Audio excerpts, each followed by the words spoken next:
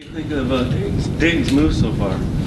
Uh, you know, add to a uh, a team that was already uh, you know very close to making the playoffs. I mean, so I can't help but be excited and you know just solidifying um, you know needs on the team.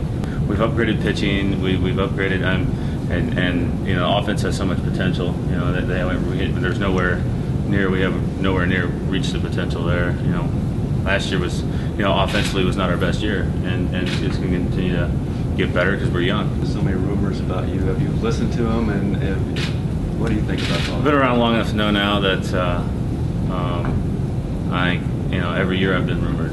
You know, ever since I've been, you know, in the big leagues. That's, you know, it's come up on quite a while now, and uh, um, you know, I'm still Kansas City Royal, so you kind of take it with a grain of salt. And um, I never got a call from Dayton, so I know nothing was serious. So.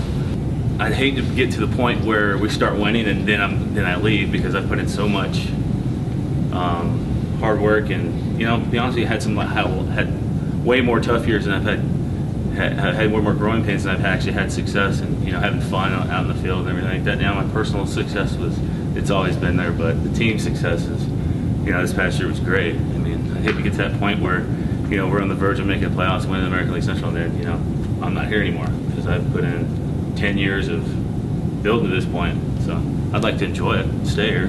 Stats are a uh, are a funny thing. If you look at certain statistics, because yeah, you know, I look at them. You, you look at my batting average, running score just actually higher than it was the, the year before.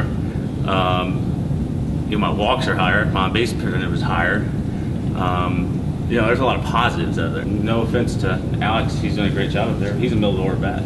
He's not a he's not a leadoff guy. He's just was the best thing we had at the leadoff spot.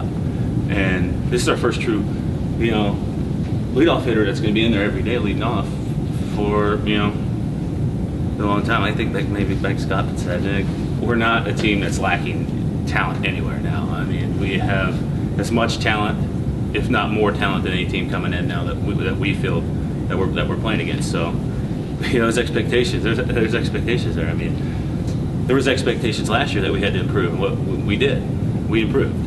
And that, that expectation is even higher this year because we added what we already had. When uh, October 1st came around, you know, everybody was going home. I mean, everybody in that clubhouse was, was ready to keep playing. Not, instead of in other years, we were ready to just, you know, man, this was a tough year.